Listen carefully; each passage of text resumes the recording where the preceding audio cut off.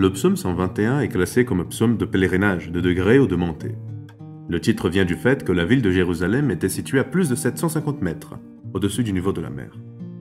Lorsque les pèlerins partaient de leur maison et montaient à Jérusalem, ils choisissaient certains psaumes pour chanter en groupe tout au long du voyage. Le psaume d'aujourd'hui commence avec une question. Je lève les yeux vers les montagnes, d'où me viendra le secours?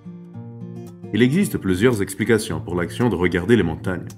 Celle que je trouve la plus plausible affirme que les montagnes étaient le lieu principal où les familles construisaient leur hôtel pour adorer les dieux.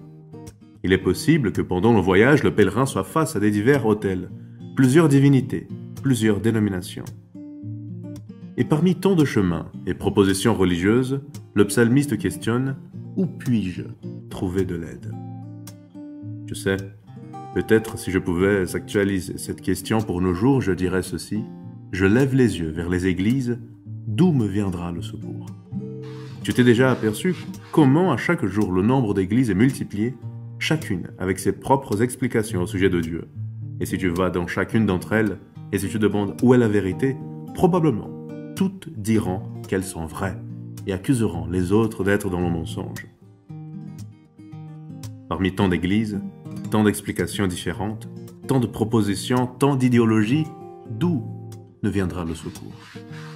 Je trouve intéressante la réponse du psalmiste.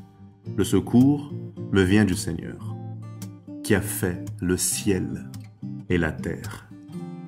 Tu sais, Bien que faire partie d'une institution religieuse soit important pour la croissance chrétienne, il est nécessaire de comprendre que Dieu est au-dessus de l'Église.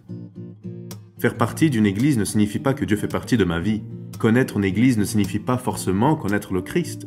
En dernière instance, au jour du jugement dernier, il ne sera pas demandé à l'être humain quelle Église de Dieu il a accepté, mais s'il a vraiment accepté le Dieu de l'Église, celui indiqué par la Bible.